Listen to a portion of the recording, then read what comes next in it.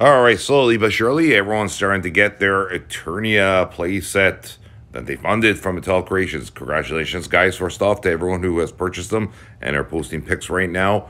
It looks like a wonderful set.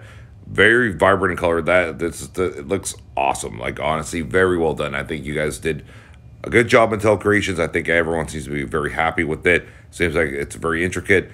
A lot of cool stuff you can do there. And also, there's a lot of, you know, multiverse things going on here of Turtles with the Grayskull and you know Hordak and Spider Man and everyone invading.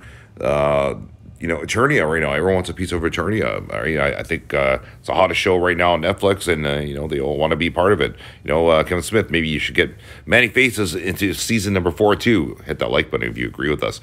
Anyway, very nice guys. Honestly, this Eternia play set looks cool. Uh, definitely, if you have Castle Grayskull, Snake Mountain, I think that's a really cool thing to have on display. Cherish it because you know what? Master of Universe is a classic, no doubt about it.